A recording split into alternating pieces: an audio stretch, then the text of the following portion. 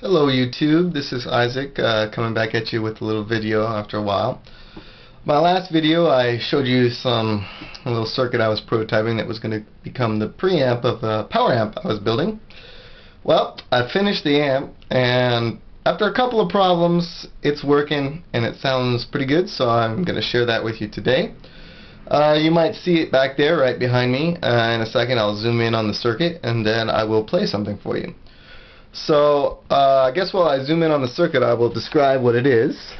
There is the front of the amp right there.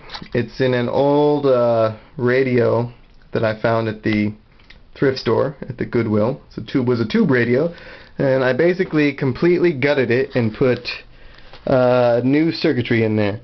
Uh, what you can see in there, these two things are my transformers. I have a dual setup there. This is the power supply. This basically is filtering it. And then there's a regulator chip for the preamp that's giving me 12 volts. This board right here is the preamp. This is uh, the Professor Tweed circuit from runoffgroove.com that I uh, showed in an earlier video. And I've only modified this to uh, allow a little bit more bass to come through, which is good for harp. And um, also change the gain on it with this uh, one capacitor here that I have socketed. Uh, and then this right here is the power amp uh, module. Uh, originally I was going to build a LM38861 that was going to do point to point, but of course I fried that by wiring up the uh, positive and uh, negative voltages incorrectly. so I ordered this. This is an LM1875, a slightly smaller wattage chip. I got this from qkits.com. Uh, it's a really well put together kit. The uh, everything came that you see here except for the heat sink. These are fuses to protect it. Uh, the actual L uh, IC is down in there. Maybe you can see it, maybe not. And it's going to put out about 20-25 watts with the voltages that I got here, which is plus and minus about 23. Uh, then on the front you can see the controls. Uh, this is tone right here. This is gain. This is volume. This is uh, right now a bypass switch for the preamp. It's uh, later I'm going to put in a second preamp so it's going to switch to maybe a clean channel or something. This is power on off. This is the effects loop, so I built an effects loop so this can go out to, I don't know, reverb or echo or something and come back in and be fed to the power amp. And then of course out the back is a little speaker cable, uh, just a regular jack, and it's going to my home built cab that I've used for pretty much every uh, movie that I've had on here. Uh, I have it out the door facing the other way because uh, this thing is pretty loud and in this little tiny room that I do this kind of stuff in, uh, it's just too much sound. It hurts my eardrums and I get feedback. So I'm going to put the camera down now and play for you just a couple of samples. Let me just make sure you can see me. Uh, that should do. What I'm going to do is play for you first through uh, a low harp. This is a G harp.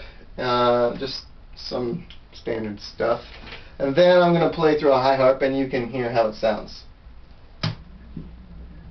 Alright, that's loud, isn't it?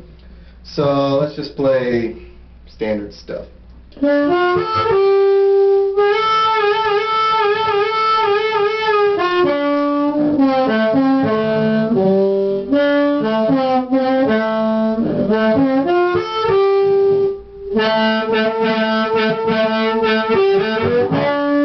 Uh,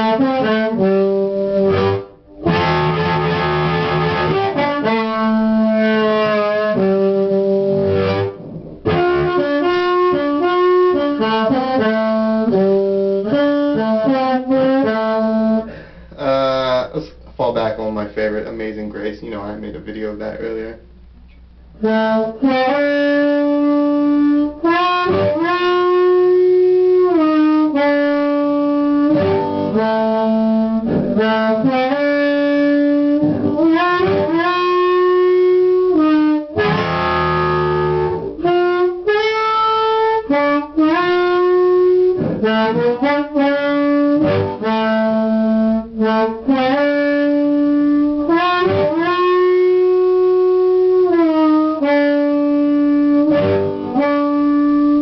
Anyway, hi ho.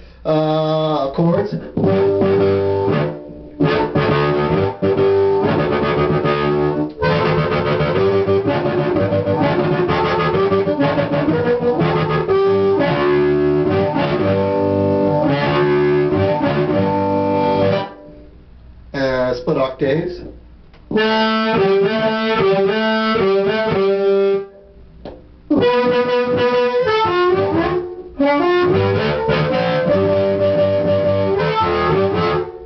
Uh, high end.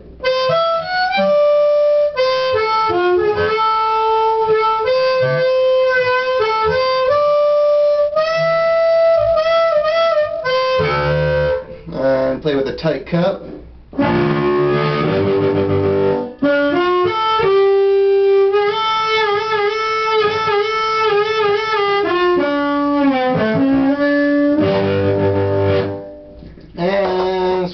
D harp, and I'll play something maybe a little faster.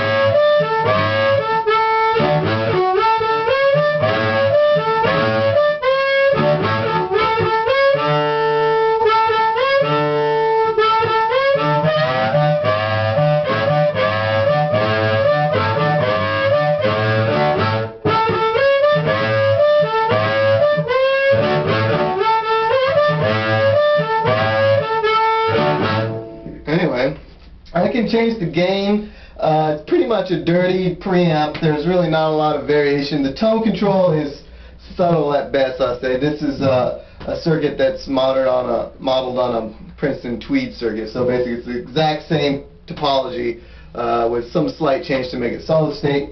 And so the gain and tone is about as effective as is in that uh, original circuit. I can change it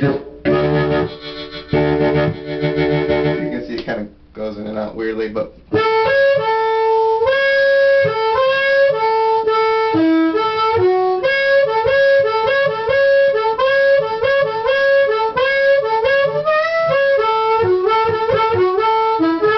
That's sort of a more, that's sort of the cleanest sound you can get out of this particular circuit, which is why I have this switch in here that I'm going to change. There's going to be a clean preamp, maybe just a one transistor circuit, just a clean boost, uh, and I'll make this thing just a little bit more functional. But uh, anyway, I guess that's it for this video.